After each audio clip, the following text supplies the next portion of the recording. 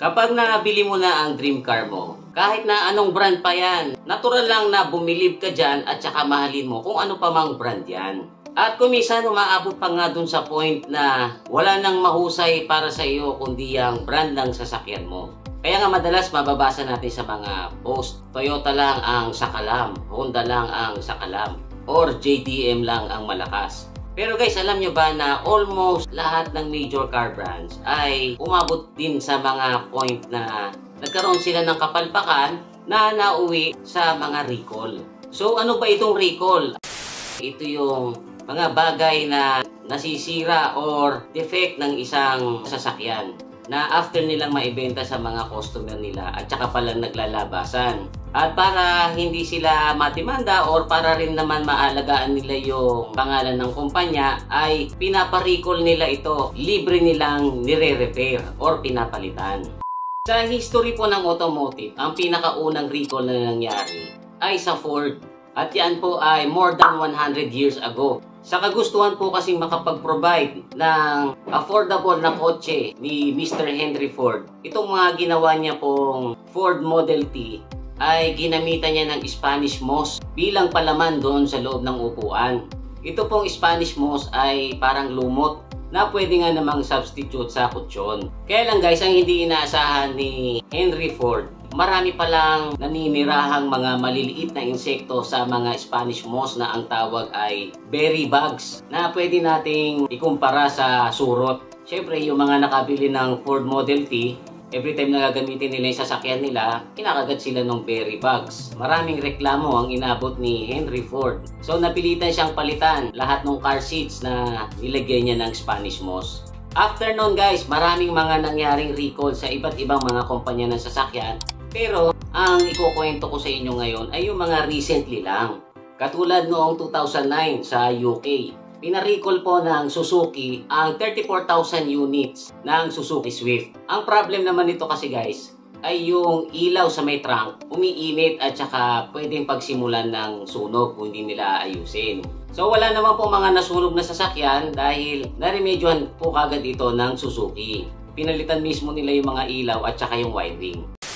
Sa Seattle, USA naman guys, year 2014 hanggang 2017 model ng mga Mazda. Kapag doon ka nakatira ay ipinarecall. Pero ang defect naman guys ay doon sa infotainment or doon sa car stereo. Kasi guys kapag ka ginamit nila yung radyo at nag-tune in sila sa local radio station doon na 94.9 ay nai-stuck na po doon sa radio station na yon at hindi na kayo makakalipat ng ibang istasyon. So unless na lang na talagang fan kayo noong istasyon na yon ay okay lang sa inyo pero syempre yung ibang mga nakabili ibinalik nila sa Mazda para maiayos ito noong iparicall ito ng Mazda.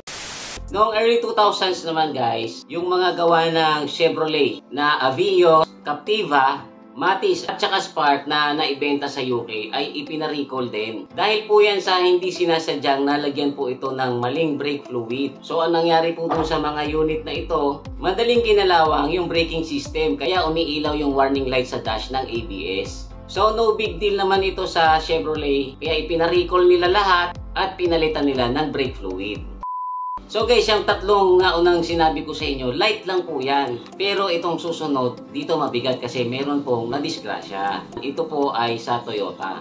Pinarecall po kasi ng Toyota ang mga sedan nila noon sa US na year 2009 at saka 2010 dahil sa nai-stock yung gas pedal na nakababa once na tinapakan mo ng malalim-lalim medyo iba-iba yung findings ng bawat research na mabasa ko. Meron nagsasabi na nai-stuck daw sa carpet, meron naman nagsasabi na faulty daw yung accelerator cable, at meron din nagsasabi na hindi nila maipaliwanag na bakit ganong kapag nadiinan mo ng tapak yung gas pedal ay ayaw bumalik. So considered po ito as sudden unintended acceleration. Nakakalungkot nito guys ay mayroong namatay dahil dito. Alam naman natin na ang Toyota ang number one selling car. Napakarami nilang ipinarecall na unit at ang estimate nga po ay umabot sa 5 billion US dollars ang nagastos ng Toyota para ito may ayos lahat. Punta naman tayo ngayon dito sa Pilipinas kasi dito meron din mga pinarecall noon. Pero hindi po entirely kasalanan noong car manufacturer. Alam nyo kasi guys, yung mga car manufacturers merong mga pyesa sa loob ng sasakyan nila na kinukuha lang din nila sa mga subcontractors. Katulad ng airbags na gawa ng Takata Company. Ang problema sa airbags na ito guys, kapag ito nag-deploy ay masyadong malakas yung sabog. Pagkatapos may mga tumatalsik na shrapnel.